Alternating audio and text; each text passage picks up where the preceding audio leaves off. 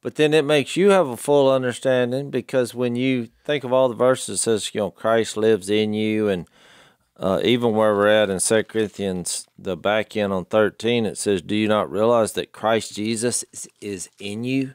That's 13 5. Yeah. Well, that's a big question Right.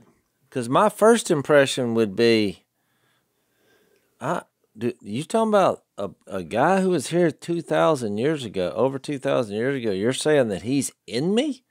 Well, this is seeming weird to the world. Right. Like, Oh, you much so. believe that you're possessed by the spirit of a person that was here over two thousand years ago? Yep. I mean, that's what we're. That's is that's what he's asking. Right. He's saying, That's why. "Do you not realize that Christ Jesus is in you?"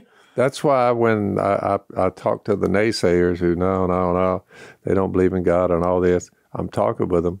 I usually end up by saying, let's just look at it logically, though. Who has the best story? Well, yeah. You with there is no God or globs or molecules that go around, you know, and then we die, and then that's that's all of that. I said, or this, But they're the thinking this is of the dead. sci-fi, Phil. Huh? They're thinking this is sci-fi.